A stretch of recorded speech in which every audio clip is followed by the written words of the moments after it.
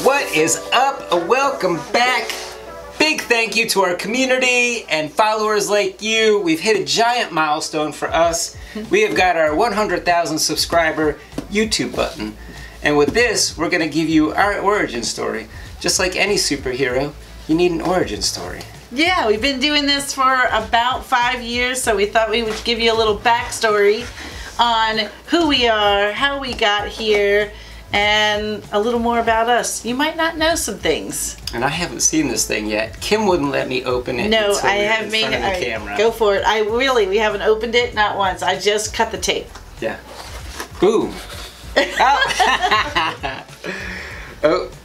It's anticlimactic. Oh, there it oh, is. Oh, there it is. Look at that shiny guy. Look at there.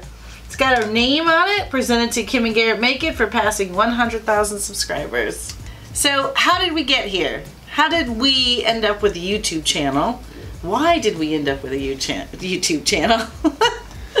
We're going to take it back to 2010 before we ever even met. Yeah, let's Little- rewind it. Tell you a little bit about us that we haven't shared a whole lot. I don't think we've shared a whole lot about our background. So here's some interesting things you may not have known about us. Back in 2010, I was working for a government contractor as a systems engineer. I was working from home. I even won Employee of the Year twice. It's kind of a big deal, Yeah, even back then. Kind of a big deal. My wife at the time had been struggling with lupus, and in 2010 she had passed away. So suddenly, I was a single dad of a five, nine, 10 year old girls and one 14 year old boy. That's right. You heard that right.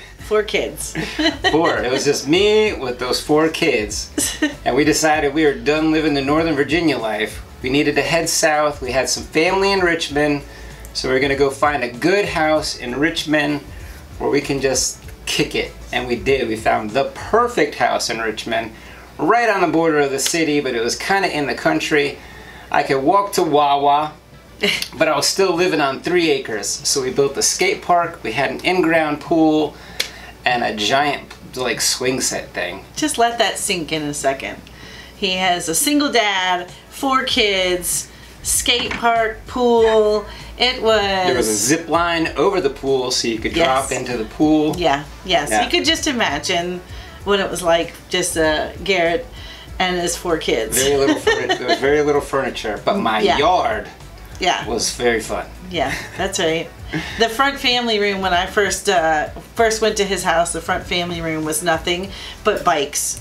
Everybody's bike was stored in the family room area or living room area. It was the living first room. room. when you came in. It was in. the formal room. yes. We kept the bikes in the formal room. Yes. Okay. And the den, we had a giant like sectional couch that was all just pieced together and a giant TV. And then everybody had beds. What else do you need? Yeah, that's that's that's that's exactly what he said. We ate, we ate outside most nights. So, parallel to that, in 2010, what was I doing? I was walk, working for a um, large corporate institution, and I it was uh, I was a single mom. It was just me and my daughter, Courtney. She's the oldest in our crew. She was a teenager then. I guess she would have been about 16 then. So it's just me and Courtney. My sister lived with me, and my niece, who was three at the time they had been living with me. So Grace was born while she was living in my house. So she had been there uh, since birth, and it was the four of us in my house. But we were kind of like um. I was kind of like a halfway house. In my family, if you didn't have a place to live, go stay with Kim. She's got four bedrooms. You could stay in one of her rooms. That's kind of how it was. But Courtney was getting a little bit older. At this point, she is a teenager. She was going to school during the day and she would be working at night. And my sister's off kind of doing her thing. And I found myself alone a lot. So, you know, my other sister was like, you know what you need to do? You got to join one of those dating apps. And I was like, oh, I don't know. I don't know. But I did. And at the same time, I decided I was going to join a dating app because I work from home. So the only adult interaction I had was over phone and you know some FaceTime stuff. But otherwise, it was all kids all the time, every day. So I decided I was going to jump on those apps. And you know what we found on those apps? There's a, lot, lot of of crazy crazies. people out there. yeah, I think after a while, I got to the point where um, it was more of an entertainment thing. So my sister and I would do it, or even Courtney and I would log in and we would see who I was matched with. There was always a cast of characters, and it was kind of like um, I had gotten to the point where it was kind of a joke thing for me. Me Let's go see who was on there. I had Yeah. given up and I just posted a joke profile. Yes, so that's that's how I first came across Garrett is he had posted the funniest profile story. It was a whole story. Was it a little bit It was a s- in poetry, Yes. rap? It It, was a song. I don't know. It was a whole thing. Yes, the whole thing rhymed. It was in, if you like, a Charles Dickens kind of thing, where I was sneaking my my family, my kids, into the bar, and it was getting harder to sneak them into the bar. Uh, the mustache no longer works on the youngest, uh, and her She- her yeah. fake ID no longer looks like her. Yeah. So- whatever Papadopoulos. I don't know. It was a whole. It was just this craziest story. You wouldn't even. I wish we had saved it. Both of us I are did. like, I wish we had saved it. Yeah. I don't know what it was, but it made me laugh as I read the whole thing. I thought it was funny, and I could see that he hadn't been on in like two weeks, so I assumed he wasn't on Match anymore. But I thought I just need to write out there, and I usually would never comment first, but in this case, I just needed to let him know how funny that was and how I appreciated the humor in his profile story because it, I could tell that he had made a joke of it at that point too, and I just could relate. So I was like, that was so funny.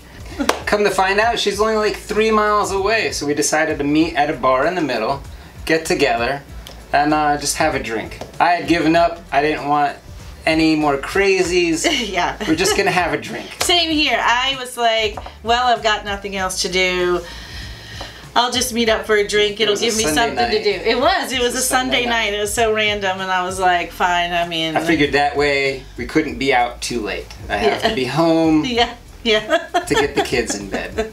Yeah, and then as we talked, we found we had been orbiting each other for the last several years. Yeah, we've been orbiting each other for years. Yeah, we found out that we had been to the same concert series or at the same time. Several concerts at the same time. We were even the in chili Vegas. cook off at the same time. We were in Vegas at the same time. Yeah, and stayed We somewhat near We even other. rode the tram on the same day. We had figured all of that out early Yeah. on. I can't remember all the details crazy. of that now. And then just like the same. We went to the uh, same grocery store. Grocery, yeah, same Yeah. grocery stores, We same went to the local bars bar or whatever that were in that same area. restaurants. Yeah. Same Starbucks. We Yeah. just yeah never actually connected. Yeah, but I wonder how many times I passed you or whatever. You know, Yeah. we had to have been at the same place at the same time at some Head point. down, head down. Gotta Uh-huh. get my frappuccino. Sorry. We'll talk later. So yeah, so we we we met that first night. And we hit had some drinks. Yeah, And yeah. I, uh, to get to know each other, I was like, "What is your dream job?" I wanted Yes. to really get to know her. Yeah, so I, you know, he knew I was in IT. He knew what job I was doing. I was like, but if I could pick any job, I would like to own my own craft store, my own scrapbook store. Really, at the time I was scrapbooking, and that's what I wanted to do was own my own scrapbooking store. There was a locally owned store right down the road, and I was like, that's what I would love to do. I would just love to have all of these craft supplies and fill the store with these craft supplies. and Garrett, what was your dream job? My dream job was a stunt man. Growing up, that was always what you wanted, Yeah, right? I until a senior in high school, I thought I was gonna be a stunt man. I thought I was gonna fall from tall buildings. I thought I was gonna roll a brand new car, get lit on fire, but solve some uh, mysteries on the weekends. So when you decided that that really wasn't a viable career, what did you decide you were going to do? Oh, well, then I buckled down and I decided I was gonna own a skate park, my very own skate park. that is what he told me. So at that time he said, if well before that, right? What did you decide you were going to do? What did I decide I was going to do? I was gonna become an art teacher. Yes, when he was younger. But when I asked him, "What is your dream job?" and he said, "To own my own skate park," So we haven't made that dream come true yet. Yet. well, I mean, technically, I had one in my yard at the time. You did. You so did. I lived my dream. yeah. I had pros come ride my yard. I mean, it was a good yard. But yeah, out of uh, high school, my new dream job was to become an art teacher. I wanted to catch people, young ones, before they are put in a box and teach them how to think outside the box. That's that was my dream job. Teaching youngins how to think outside the box. It's also why I love BMX. We hit it off really well, right? And We then did. that that first night we had a few drinks, we had some laughs, and then I had a call from my daughter. She had a hair emergency, and I had to go home. But that's okay because I told my kids to call me around 10ish and tell me that the house was on fire. So we were good. he, he said, "It's okay. I know you. You know, you had that staged call." I was like, "It wasn't a staged call. I promise you." It's okay. She really is. I understand. She really does have a hair emergency. She had dyed her hair, and I forgot what had happened. She ran out of color or something, and I needed to go home to take her to the store to get some more hair color so she could fix it before school the next day because it was on a Sunday. But we hit it off. Um, uh, we met up the next weekend, and fast forward a year later, and we were hitched. Yeah. We uh, turned our family into the Brady Bunch. Yeah, so a year later, it was Garrett and his four kids, me and my teen, and don't worry, Grace was never far behind. My sister was still close by and nearby, and so It was still a halfway house. yeah, I was still yeah. Well, well, once we got married, it wasn't so much of a half, halfway house because we had to pack everybody in there, right? Yeah. That was that was an adventure with five kids and a part-time sixth kid, right? Grace was her part-time sixth kid, and there's a we had to fit everybody in there, eight of us, Had our own in your place. And then eventually back to my place. So that was an adventure. And then in 2018, my sister passed, so we had Grace with us full time. So Grace made eight. eight people in the household. We had a large group. We did that for a while, and then I shared with Garrett something I had been dabbling in, which was real estate. I was kind of sharing, hey, I think this is something we could do.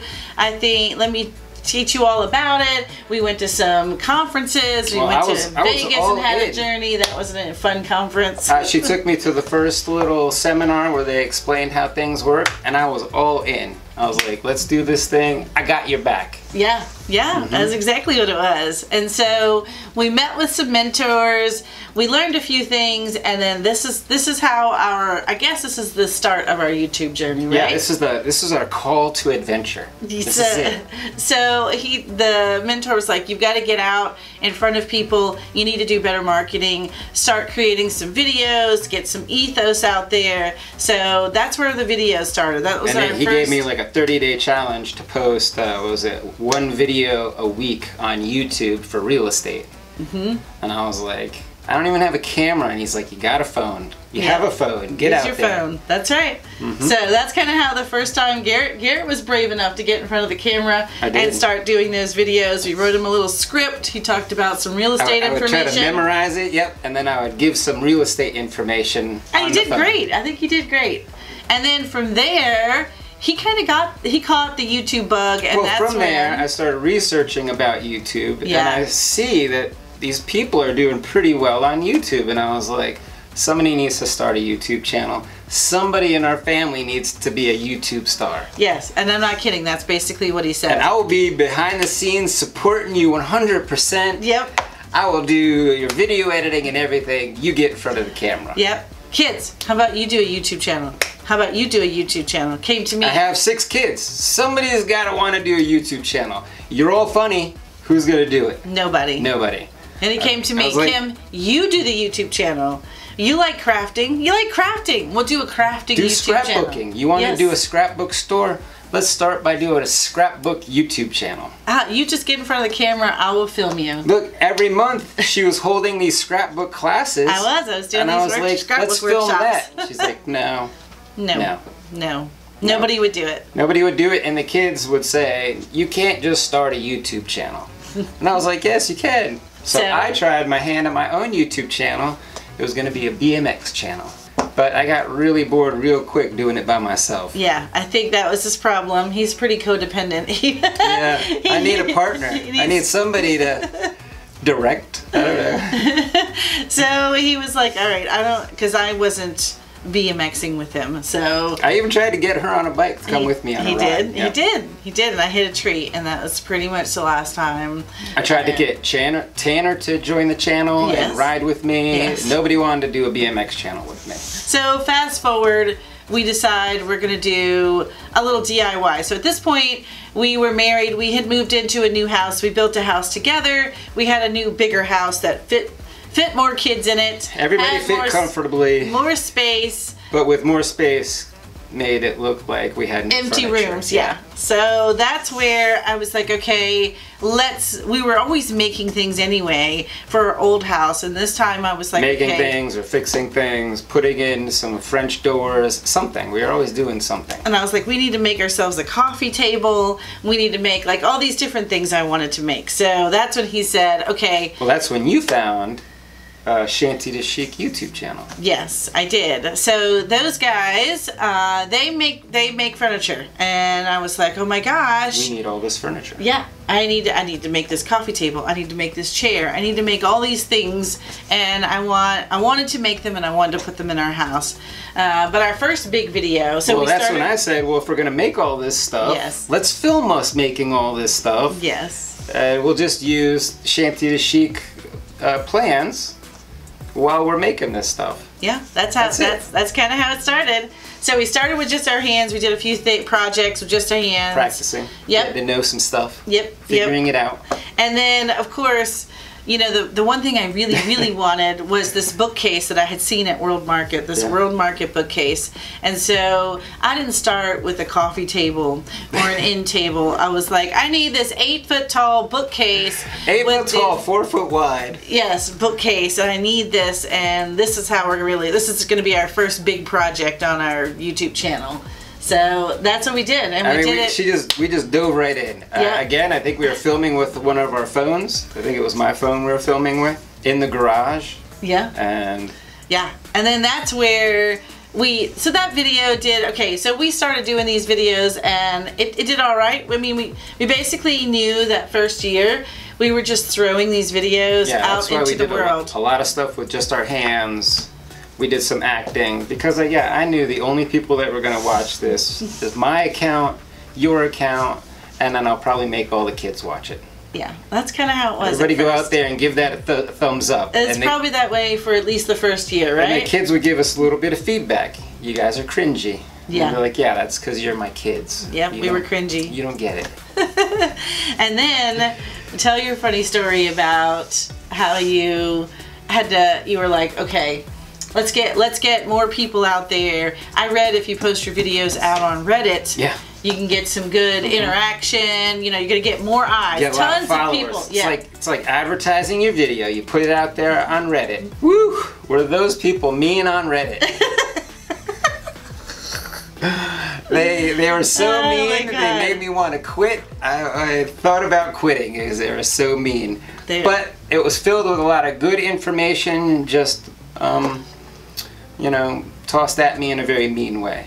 Like- he learned a lot didn't you learn a I, lot I learned though? so much. So- but it was so mean. But it made me go back and reanalyze how we do the videos, uh, what information that we provide, how the video is structured. Uh, we, I got a camera, I got a microphone, I got a tripod stand, we got some lights, yep and we moved out of the garage. Yep, that was the one thing he was like, all right, we've got to get out of the garage. It's too echoey. We can't light it properly. So there went my dining room. no dining room. We're going to move a table in there and we're going to film in the dining room. That's Well, going to be our studio. If we could get 500 views on a video that was shot horribly and tore up on Reddit, if we improve some things, maybe we can get some more views. And then that was our first year. We spent our first year out of our dining room and did lots of, lots and lots of different testing out a bunch of different stuff. We were, we learned a lot that year. We learned how resin works. We learned sublimation. We Yeah. learned Cricut stuff. We, did some rhinestone things. rhinestone yeah. things. We learned a lot that first year. We did some wood. I learned what pocket holes are. I mean, so much. I can't even wrap my mind around how much we learned in the first year, and then we ended that year learning about how to use cameras and lighting and We really did do it, build it, make it that year. We did such a variety of things. But the more we learned about YouTube, the more they were like, oh, you should niche down. you should niche down. I was like, I am niche we are down. niche down. I'm doing crafts and things. I'm making DIY, stuff. DIY, yeah, Niched. DIY. That's niche. Done been niched. then at the end of 2018, we took a break. We took a break from YouTube for two weeks. Right, we had our corporate jobs. We had the week of Christmas and the week after Christmas. Both of us had it off. Um, the week after Christmas, we usually go on some sort of little family trip. So we took the two weeks off of YouTube as well. Didn't even think about it. But guess what? YouTube forgot about us. I mean, forgot about us. We had to start all over again. We took that two week break and that's it. YouTube stopped. Yeah, they Yeah. they thought we weren't a channel anymore. they quit. yeah, they quit. And so it stopped serving us up. I mean, just completely stopped serving us up. 2019 was the year we were going to rebuild. We were going to focus on the Cricut and we were going to niche down to home decor items. we had pretty much built all the furniture that we needed and now that we were in our front dining room space we were going to do smaller home decor craft items which were fun we made lots of different projects with the Cricut we did pretty much everything that you could think of with the Cricut Yeah, she was always coming up with a new idea, but I wanted to do stuff out of wood and I wanted to make thicker items. So I ended up getting an X-Carve. It took a while to put together, and then the machine almost did what I was looking for, but it was a great introduction into CNC machines. and that's where we started doing our first 3d uh, door signs and we did our first 3d vertical porch leaner and that video did really well Did really well. that's another one that was kind of uh, super inspirational for us. So we had already had our online store where we were selling stencils, and now people were asking, "Do you sell these kits to make the vertical porch leaners?" And we were like, "Yes, yes, we, we do." do. So we started selling the Welcome to Our Home kits and a couple of other kits, right? A couple So of other stencils. That was fun. That was uh, business was growing. It was growing, and then I think that fall we also started with some farmers markets. Yep. Selling at our, our local farmers market. right? And we just started, we just tried it out. It was just something we wanted to try. So we took our little tent that we were using for uh, softball yeah. games, yeah, where we could all sit under there in some shade. We took it to the farmer's market uh, with two camp chairs, hung our little signs from the tent. And they did well. They did were okay. they were very well received. Well, we, we learned a lot, and it inspired us to do better at our booth. Yeah, yeah, yes. By spring of the next year, we had we were getting very creative Yes. and um, building projects just for our craft booth. Another thing that happened in 2019 that was inspiring, um, that kind of came from the work we were doing with the Cricut, was we worked with our first influencer. Our first collab. Yes, we worked with Auntie Tay and we did a Tay takeover where we kind of did a video for her channel and she published the video, but we actually did all of the work on it. So she kind of did the intro and the outro. And then we did the content in the middle. Yeah, Yeah, and we did several videos for her uh, like that, and we gained a lot of new subscribers and a lot more visibility into a, a whole different, well, and into a different community. It wasn't Yeah. so much different, but new community. Let's put it that way. 2020 was the year of growth. That was our year of the laser, too. We kicked off the year with me convincing Kim that I needed to get a Glowforge. I needed something that could produce our signs faster, quieter, and more precise. We had been using the X-Carve and it was fun and we really liked some of the projects that we did with it. But Garrett promised me, promised me that we could use that Glowforge to do what we were doing with the X-Carve and do more with what we were doing with the Cricut with this laser. Yeah. And he also promised me that it would pay for itself.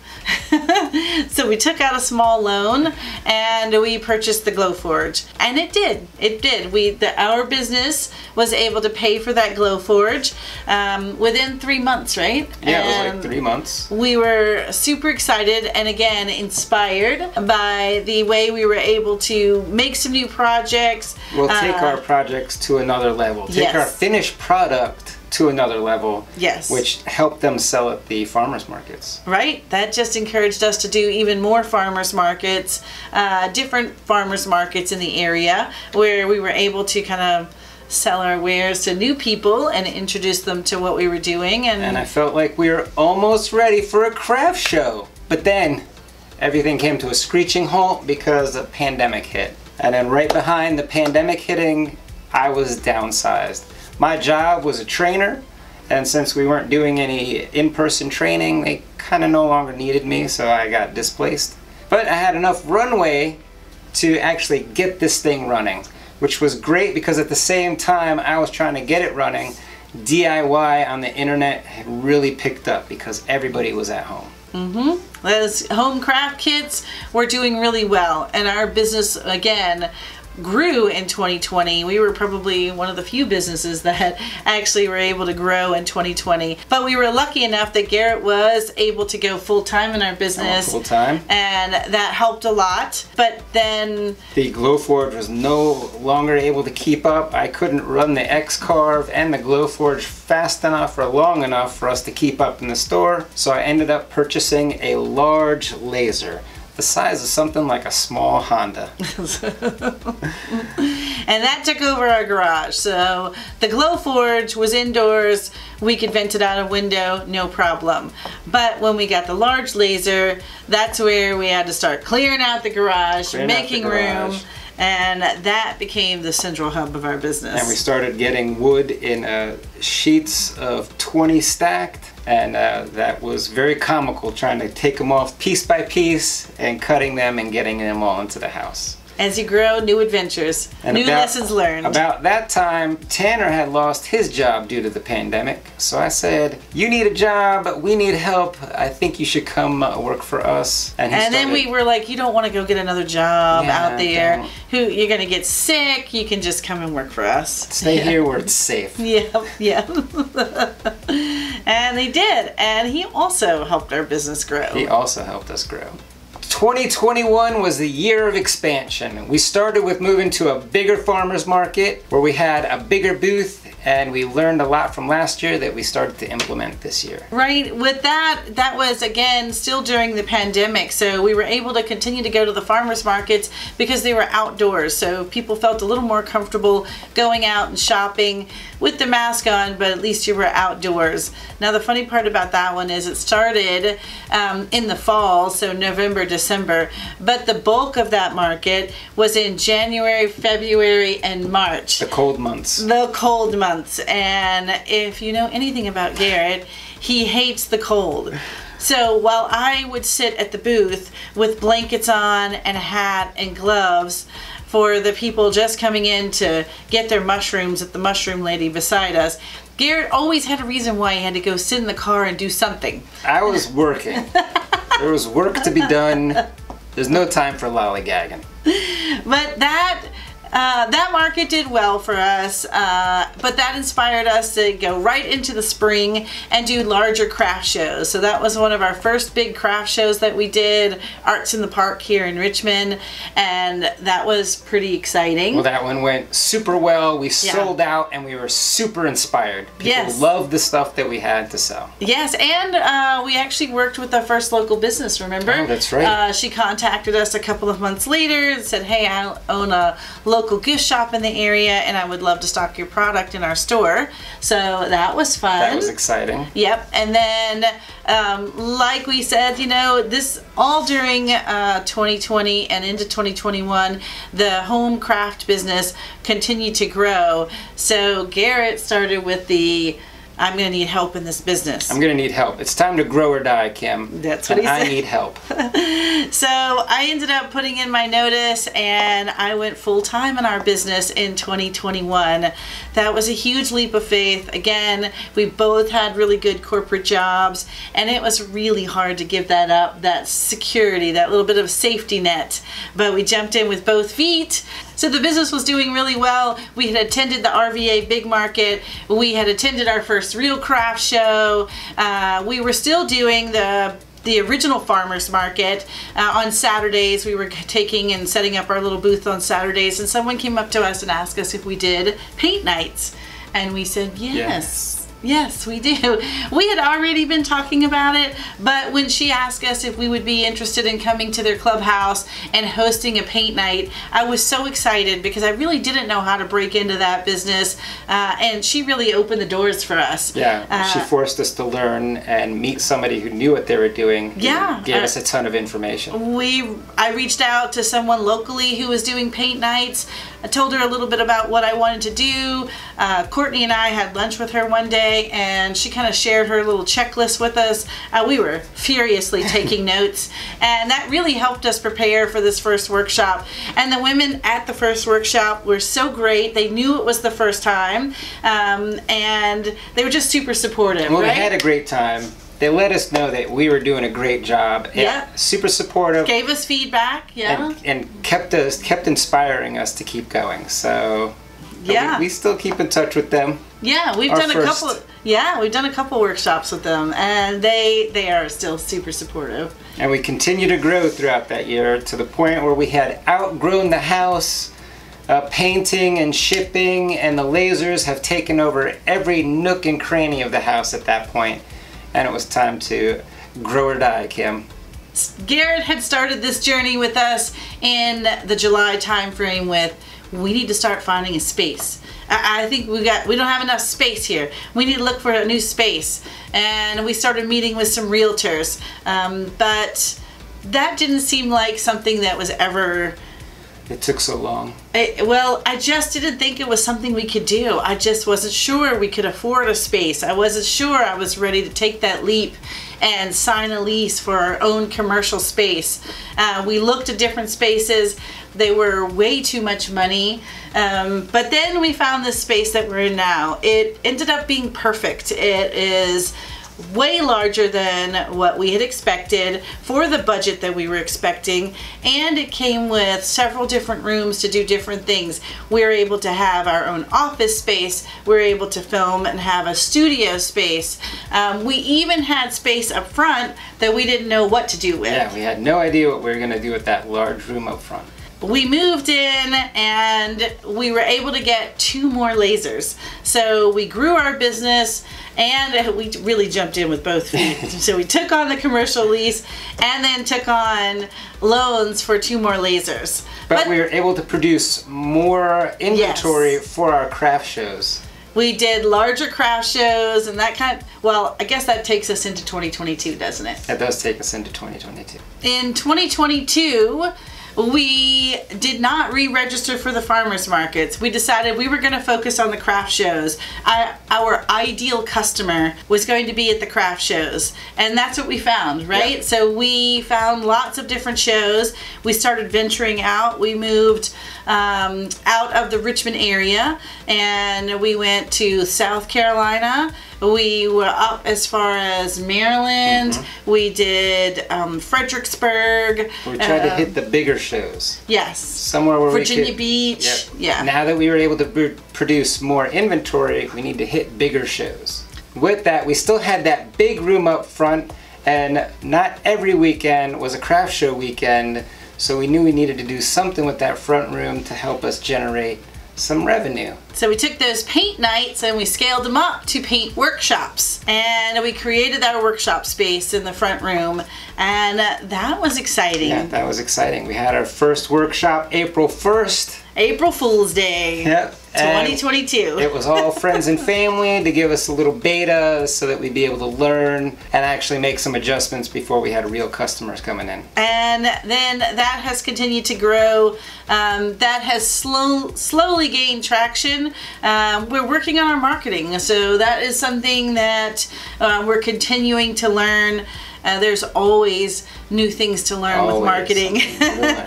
How we market our workshops, websites like Eventbrite or TripAdvisor or, Or Yelp. yes, Or yeah.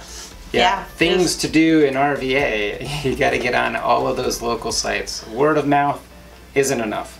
Yeah, so that's that's been exciting. So that kind of takes us. What else did we do in 2022? Ooh, Ooh, that's right. we had our first new um, partner. Our first, Brand partner. yes, Yeah. yeah. So we partnered with Omtech and Xtool. Those That's were right. our first partnerships. And they kind of helped us niche down. They- They're kind of letting us know where our niche actually lies, and apparently it's in lasers. we continue to do more and more with that with the laser community and laser projects because that's where our interest lied Yeah. and lasers were growing uh, glowforge was so hot and has been so hot um, and then into the scene came the omtech and the x-tool lasers And I know I was bit by that laser bug and the CNC. I love being able to create things that I wouldn't be able to do out of hand. Finally, that takes us to 2023, the year of the niche down. in the spring of 2023 we really realized okay again we should niche down but we did finally find our niche or our niche found us Our niche found us. Yes, we learned that lasers are where we want to be, but it's not just laser crafts, it's more uh, laser craft side hustle. We started building our Patreon community a couple of years ago, um, but as we grew in 2022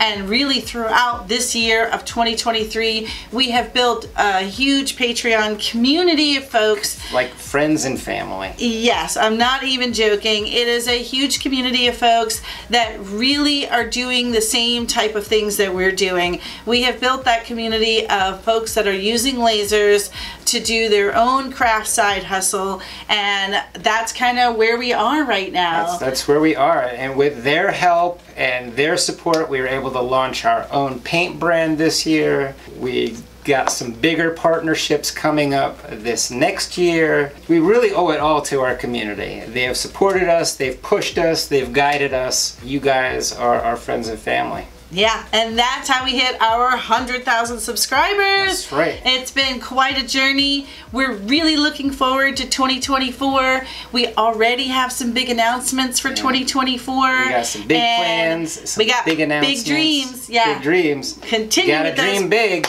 Because what was Kim's dream job when I first met her? It was going to be I wanted my own scrapbook store. What was my dream? You wanted to be an art teacher. That's right. So we were able to get to kinda what our dream jobs were. Every week I get to help teach somebody a form of art, and Kim owns a craft store. I have more craft stuff than I ever expected to own. So if you have a dream and you have some determination, go get it. Uh, you can live your dream. Everybody should live their best one time around. And you can continue to join us on our journey as we share more crafts, more projects, more inspiration for building your own business and your own craft side hustle.